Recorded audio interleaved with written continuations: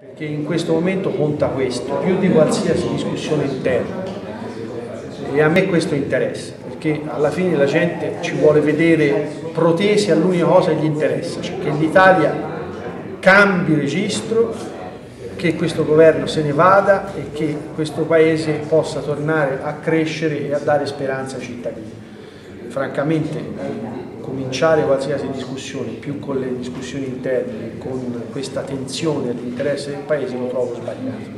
Noi dobbiamo guardare avanti e dare a questa discussione un orizzonte costruttivo, sapendo che alla fine vincerà chi vincerà nel Paese, chi parlerà di più al destino di questo Paese, lo farà nei fatti, perché se c'è una cosa che va cancellata in questo momento è un'idea di politica fatta solo di slogan di promesse che è stata quella che Berlusconi ha portato avanti, ridando alla politica la giusta dimensione, cioè quella in cui agli slogan devono corrispondere anche i fatti.